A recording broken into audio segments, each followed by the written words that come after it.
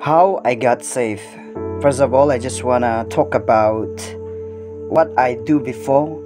You know, I was a guy who loved uh, hip hop, and I was involved in a hip hop community, and I love breaking, I love dancing. That's what life is before I was born again or before I came to Christ.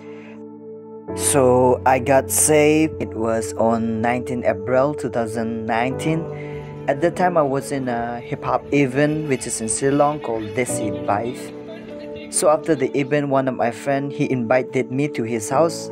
At that time, I don't even know what they're gonna do, so I just went to his house directly. So we went up to his room and they began to talk about some godly things. At first, I don't even know what they are sharing. It was like puzzle in my head until they shared the love of Jesus.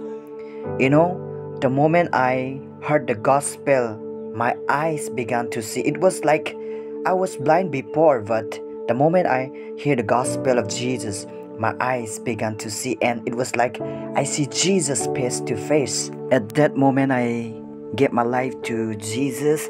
I accept Him as a personal Savior, and I give everything that I have to Him. And I think it was the most beautiful thing in my life